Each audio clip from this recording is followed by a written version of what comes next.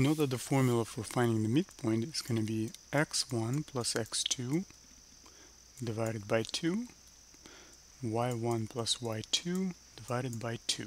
Those are the coordinates, the x and y respectively, right? So now we have to understand what is being what is known here, right? The known part is um, so let's see, find the coordinates of A if B is the midpoint. Okay, so we can say A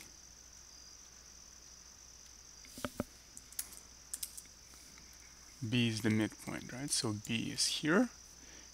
Okay.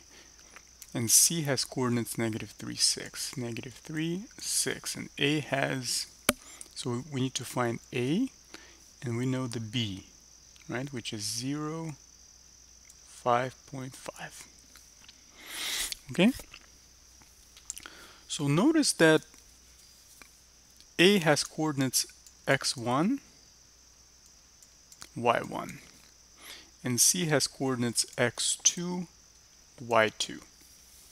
Okay, so as you can see, we don't know the x1 and y1 because we need to find the A, but we know the C and we know the B. So we can still use the formula. Okay, so we're going to use x1 and x2 we know, right, because x2 is negative 3 and y2 is 6. Okay, so x1, um, I'm just going to erase this plus minus 3 because we, we have net minus 3. So x1 minus 3 divided by 2. Now, I'm going to just get rid of this parentheses and I'm going to explain to you why. Because we're using equation, right? We need to find the x1 value, subscript 1. So we're going to set it equal to the midpoint, right? Because the this is the formula for the midpoint, right? This part.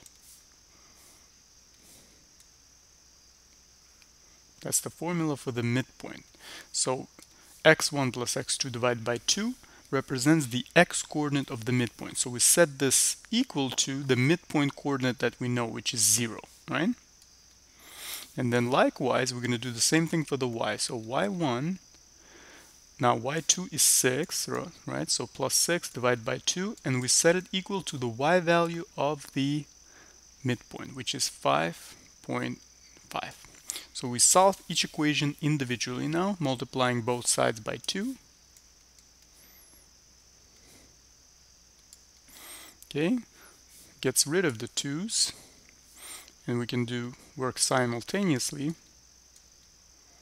Okay on both equations, we will get x1 minus 3 is equal to 0 and y1 plus 6 is equal to 11. Right? 5.5 times 2 is 11.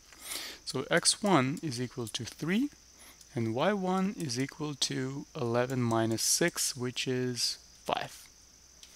Okay, so the coordinates of A are 3 comma 5. There you go. Thank you so much for watching and I'll see you in my next video.